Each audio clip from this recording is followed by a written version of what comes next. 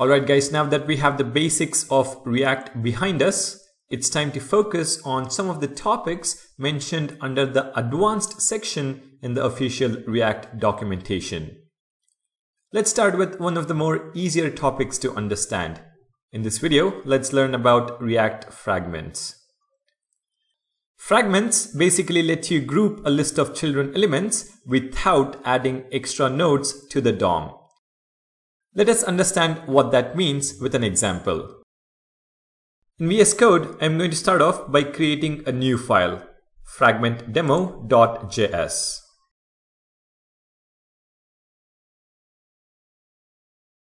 Within the file, I'm going to use the React snippet rfce to create a functional component. In the JSX, I will simply specify the text fragment demo. In the app component, I will include the fragment demo component.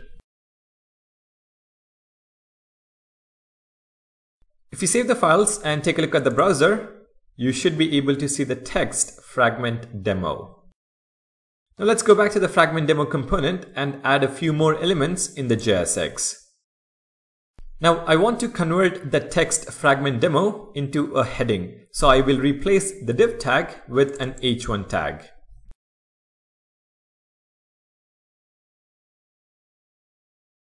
Right after the heading, I want to add a simple description using a paragraph tag. This describes the fragment demo component. But when I do this, we get a red squiggly line at the closing parentheses of the return statement. And when I hover on that, you can see that it says JSX expressions must have one parent element. If you save the file and take a look at the browser, you can see that the application is broken as well. And the error message points to the same thing. Adjacent JSX elements must be wrapped in an enclosing tag. So anytime your component has to return multiple elements, you have to enclose them in a single parent element. So let's add that enclosing div tag.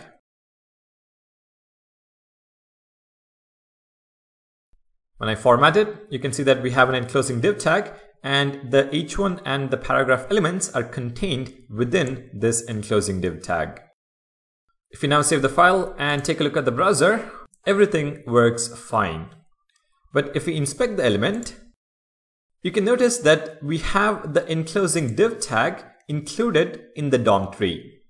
So between the div tag from app component and the h1 tag in fragment demo component, we have an additional div tag. This is where React fragments come into picture. We can replace the enclosing div tag with React fragment and that will prevent the extra node from being added to the DOM.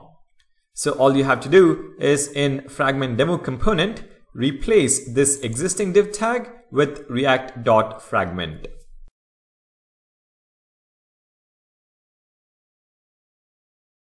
Make sure to change the closing tag as well. Now, if we save the file and go back to the browser, inspect the element, you can see that we no longer have the div tag between the app component div tag and the h1 tag. And if we go back to VS Code, you can see that we are still returning multiple elements in the JSX. Alright, now let's take a look at another example where React fragments seems much more appropriate. I'm going to create two new files. So within the components folder, table.js and columns.js. Within the table file, I'm going to use the React snippet rfce to create a functional component. For the JSX, I'm going to replace the div tag with a table tag. And within the table, I'm going to add a tbody tag and then a tr tag to create a row of data. Within the row, I want to render columns. And the columns will be maintained in a separate component, which is our columns component. So let's go to column.js and using the React snippet rfce, create another functional component. Within the JSX, I'm going to add two columns. So td, name, and another td, Vishwas. Because we are returning multiple elements, we need the enclosing div tag. Now back in the table component, I will include the columns component. And back in app component, I will include the table component.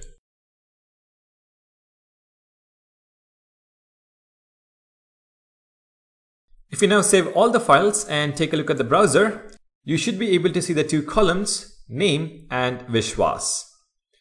If you take a look at the console though, we have warnings. And the warning is validate DOM nesting TD cannot appear as a child of the div tag. Basically, it is telling us that it is wrong to have a TD element as a child of a div tag. If I inspect the element, you can pretty much see that in the DOM tree, TD within the div tag.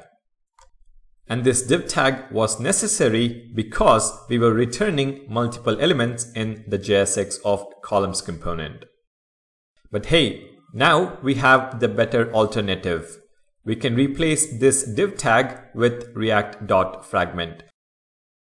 So I'm going to go back to VS Code and in columns component, I'm going to replace the div tag with react.fragment. If you now go back to the browser, you can see that all console warnings have disappeared. If we inspect the element, you can see that we have the table tag, tbody, tr, and then td. There is no div tag in between.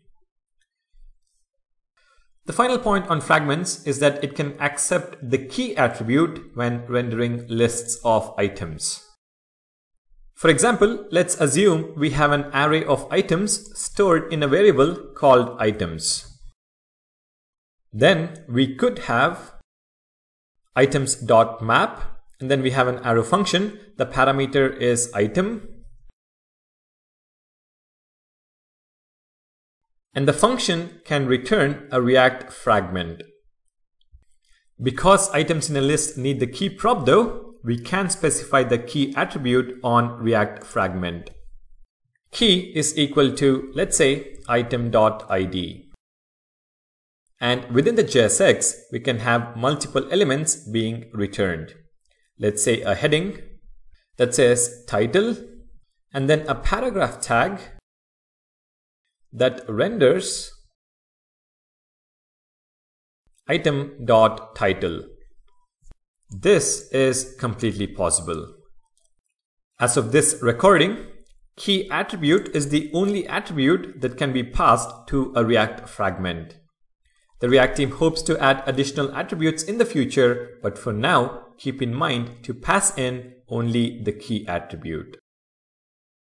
Now there is also a shorthand syntax that you can use for React fragments. Instead of react.fragment, you can use an empty opening tag and an empty closing tag. I will get rid of this items rendering.